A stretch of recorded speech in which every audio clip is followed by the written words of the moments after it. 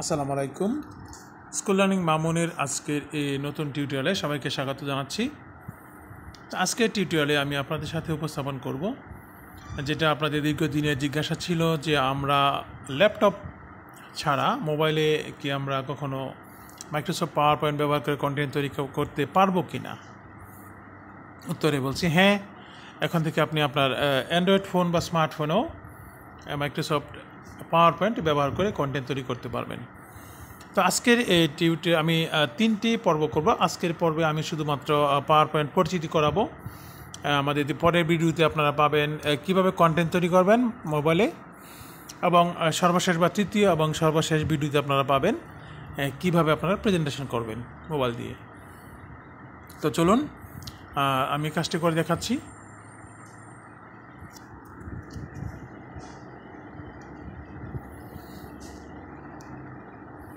আপনারা দেখতে পাচ্ছেন, এখান থেকে যে স্ক্রিন দেখতে পাচ্ছেন, এখানে আমার যে রেড বাটনটা আছে, এই রেড বলের এখানে দেখেন মাইক্রোসফট পাওয়ার পয়েন্ট আছে, এটাতে আমি ক্লিক করছি।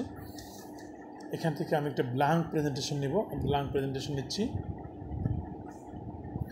আপনাদের অবগতির জন্য বলছি, এটা অফিস থ্রি সিক্সটি ফাইভের একটি ভার্সন মোবাইল ভার্সন এটি ব্যবহার করে আপনারা চমৎকারভাবে কিন্তু কন্টেন্ট তৈরি করতে পারবেন।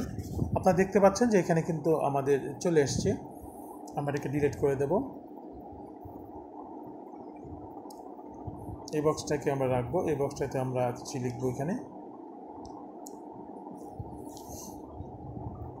এখানে যে আমরা ডাবল ক্লিক করি, তাহলে আমি লিখতে আমার নামটা লিখি এখানে।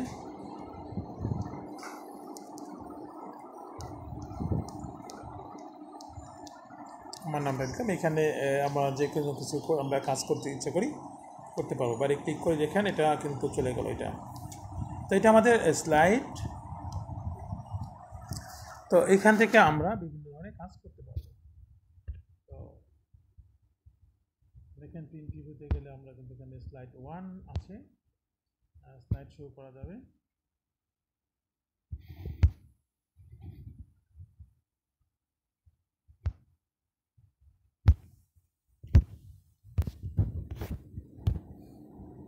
আমরা স্লাইড শো আপাতত করছি না, আমরা চলে যাচ্ছি আগের অংশে।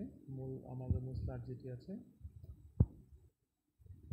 দেখেন এই যে টুডে আজকে আমি এটা করেছি এটা হলো ওয়ান ড্রাইভে সেভ হয়েছে আমার, এটা পারবেন প্রেজেন্টেশন নাম্বার ওয়ান সিক্স আর যেটা আছে এটা এটা কিন্তু সেভ করা যাবে ওয়ান ড্রাইভে সেভ থাকবে।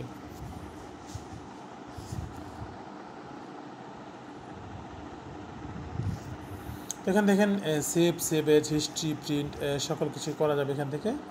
আমরা এডিট অপশানে ক্লিক করে এটা কাজ করতে পারব। তো কাজ করার পর আমাদের এখানে এখানে আমার একটা স্লাইড আছে, তারপর প্লাস চিহ্নে ক্লিক করে ডান পাশে যে আছে, এটা করে আমরা একটা স্লাইড নিতে পারি, এভাবে নেওয়া যাবে।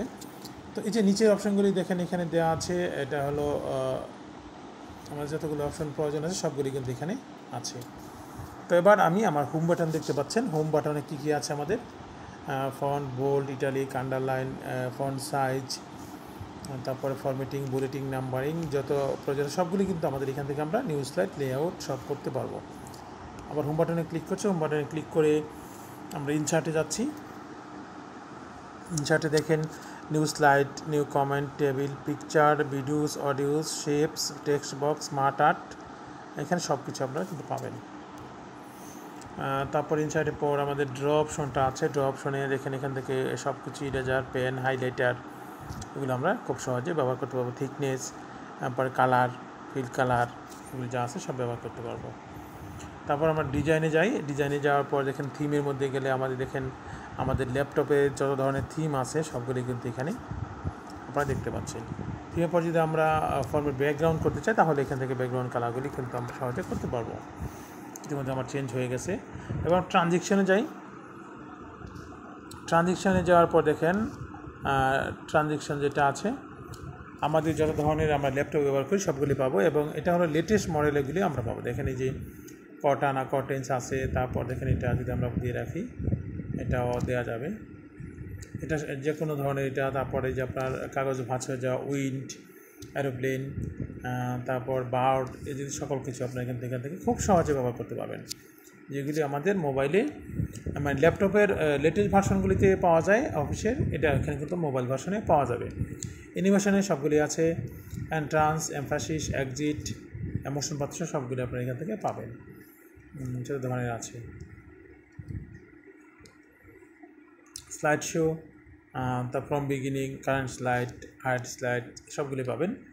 তারপর রিভিউ পাবেন। তারপর হলো view view zoom out zoom in তাহলে এই যে আমরা চেষ্টা করেছি, আমরা আজকের টুলসগুলি পরিচয় করে দেওয়ার জন্য, যেগুলো আপনারা মোবাইল ফোন ভার্সনে পাবেন বা মোবাইল ভার্সন যেটা সেটা পাবেন।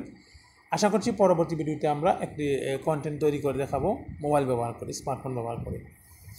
তো সম্মানিত ভিউয়ার যারা দেখছেন আশা করছি আপনারা এটা দেখে উপকৃত হবেন এবং যে এতদিনের দুশ্চিন্তা ছিল যে আমরা মোবাইল ফোনে পারব কিনা, সেটি কিন্তু আমরা খুব সহজে আপনাদের করে দেখিয়েছি।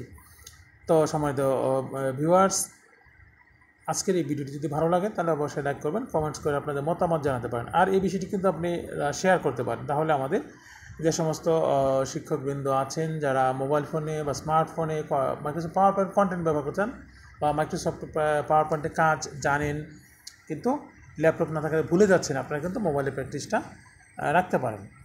আরেকটা বিষয় হলো যে আমরা যদি এটা করি, তাহলে আমরা কিন্তু খুব ভালোভাবে এটা আমাদের প্র্যাকটিস থাকবে। তো শেষ করছি। এবারে বলছি, যদি আমার চ্যানেল আপনি একেবারে নতুন হয়ে থাকেন, তাহলে অবশ্যই সাবস্ক্রাইব করে নেবেন। আর যদি ইতিমধ্যে সাবস্ক্রাইব করে থাকেন, তা আপনাকে অসংখ্য ধন্যবাদ। শেষ করছি। আসসালামু আলাইকুম।